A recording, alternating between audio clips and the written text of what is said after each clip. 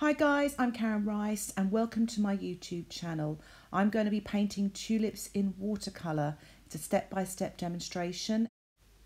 And I have a reference photo for you here. It was taken by one of my students, Carol, so thank you so much, Carol. So here are the colours I'm using for the demonstration. Purpurite Genuine, Wisteria and Phthalo Turquoise Daniel Smith watercolours. Daler Rowney's Quinacridone Magenta and Winsor & Newton's Lemon Yellow. So it's quite a nice selection of colours to paint my these beautiful tulips. So I'm just going to start an outline drawing of the tulips. I'm using an HB pencil. Don't want to use anything softer than that, a 2B or a 3B, because I, it tends to on watercolour paper get a bit smudgy and dirties the watercolour paper. So I'd really suggest an HB, a B pencil, nothing harder, not an H or a 2H because it gets a bit scratchy on the watercolour paper. When you're doing a pencil drawing, an outline drawing for watercolour, try to keep it as simple as you can. Don't do any sketching or shading with the pencil. Just try to keep simple outlines. And here's a really, really good tip for you. When you're drawing and you make a mistake, whatever you do, don't rub the mistake out. Keep drawing and your mistake will help you make good corrections and then at the end do all the rubbing out. Otherwise, you tend to rub out mistakes and then redraw them again. And in doing that, hopefully, this exercise will help you with your drawing. So to start off the painting, I'm using a size 10 brush, sable round brush. I've mixed up some quinacridone magenta, the Daler Rowney one.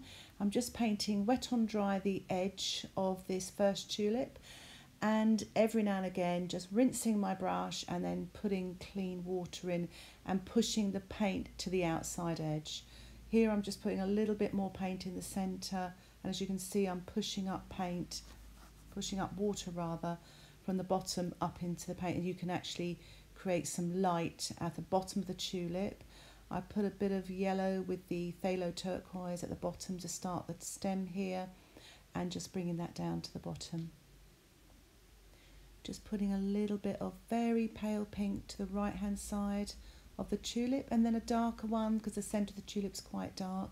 Still using the quinacridone magenta and just putting a little bit of dark there as you can see and keeping the you know so actually now I'm putting a bit of wisteria that's that Daniel Smith wisteria it's gorgeous colour just to finish off that tulip. I've still got a little bit on my brush and I've used it on the left hand side just putting a little bit of the quinacridone magenta on the right hand side with a dash of yellow in the middle. And as you see the reference photo there's a little bit of a yellow tinge in the middle of that tulip. Putting a little bit more of this dilute colour all wet and dry around the edges here. And a little bit of yellow and then the yellow and the phthalo turquoise wet on dry down this stem so just, you know, just taking everything step by step. There's a little bit more phthalo turquoise in this wash, again wet on dry. The secret with watercolour is try to paint an area once, don't keep back going back over and over. And the other thing is always have your brush fully loaded with lots of paint so you don't run out of it too quickly. Just putting a little bit more of a very pale green at the bottom of this tulip. It's a lot paler and greener at the bottom in the reference photo. And then a pale wisteria colour here with a touch of the magenta. Just very, very pale wash and then a bit stronger and darker at the top. And again, just pushing in clean water to get these lovely dark edges. And just finishing off all these stems and leaves now. Just pushing in the paint, dropping in a bit of yellow so you get some nice colour mixes using the point of my sable brush to get that lovely point on the leaf.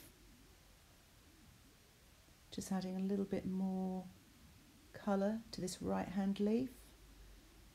That's the phthalo turquoise and the lemon yellow.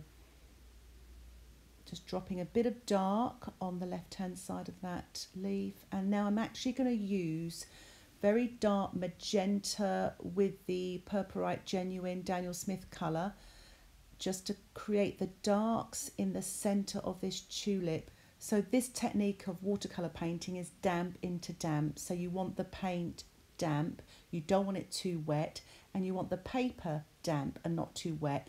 That way you create control, you get the control of the paint, it doesn't run everywhere, and you get lines and marks as you see I'm doing here without it dispersing into the rest of the painting and it stays where you want it and it creates a soft edge. So you get the detail, you get the darks, you get the soft edges. So I can just work my way in here. The other thing I'm doing here is I'm actually lifting off the paint. Because it's still damp, it enables me to do it. So the way to lift off in a good way is to rinse your brush, take off all the excess moisture in the brush, and then lift off the paint, sort of really let the paint soak up the moisture on the painting and lift off.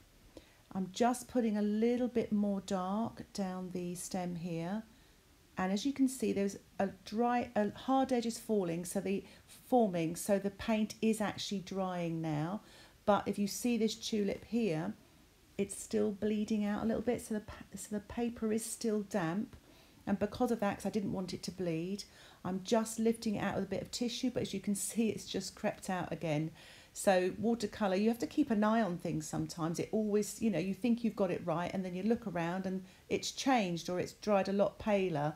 So um, it's just being open to things with watercolor. Don't get any fixed ideas. Always be prepared to have to change things or to accept things the way they go. And sometimes they can look really beautiful. So I'm just developing this centre tulip here, putting in the dark creases of the petals, using that magenta and the Purpurite Genuine and just getting a little bit of tonal value and detail. Just painting again a little bit of dark down the right hand side of the stem. And now I'm putting a little bit of dark on the right hand side of this tulip, then softening the edge with some clean water, but obviously it drags the paint down. But I've also deliberately kind of left little stripy bits there so it looks like the light catching the tulip. Again putting dark on the edge here and then pushing clean water up so that it creates a nice dark crisp edge. Um, I haven't blow dried this picture yet but it is starting to dry naturally by itself. Because there was a puddle here again I'm just lifting off with my brush. The sable brush is, able, enables you to really lift off lots of moisture. So I'm just putting a little bit more dark into the centre of this tulip here. It's sort of a little bit of damp in places but drying in others, which suits what I'm doing now, so I'm happy to do that. And just putting the darks in here, dropping water in here, so you've got dark either side with a little bit of light in the centre of that little gap in the middle. And I've actually put a tiny bit of pink in my blue and yellow colour to create a bit of a greyish shadowy colour for the stem and the side of the tulip there. I'm using a size 3 pointed sable, one of my favourite brushes. It's a Winsor & Newton sable and it enables me to have lots of paint on my brush but gets lots of lovely detail. It's the fun bit here now. I'm actually starting to have a little bit of fun with this painting. I've got hard work's done. Now you can be quite creative. So I'm putting colour on, thick creamy colour and then dropping water in because then you get these lovely creative things that watercolour does when you've got these back runs, you've got all these yummy texture. And one thing I've noticed about this um, Clairefontaine paper, it does have some lovely texture on the surface. It's a rough surface, it's 300 grams. So it'll take all this dropping water in and it won't sort of buckle too much. And because it's a gummed pad, that's when it's gummed all the way around. It's got a little slit at the top where you can take the paper off afterwards with a palette knife. It doesn't sort of buckle and so it keeps it keeps the surface quite nice and flat for you. So I quite I quite like these gum pads.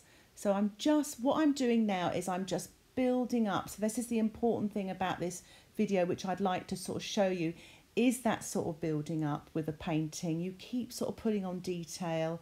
The important thing is obviously you don't want to fiddle too much, but at the same time you need to put darks and detail on. And that's what I always try and keep telling myself. Don't fiddle, don't keep putting mid-tones on. Just now aim for those dark tones. And the, the thing about watercolour I've learned over the years, it's all a bit, it, you want to be creative, but it is that discipline and there's many paintings that have ended up in the bin because I've just overdone it and I've just kept putting on sort of too many of the same tones. And one thing I've learnt now is to tr- really try just to have light medium and dark tones so I don't spoil and make my watercolor painting muddy.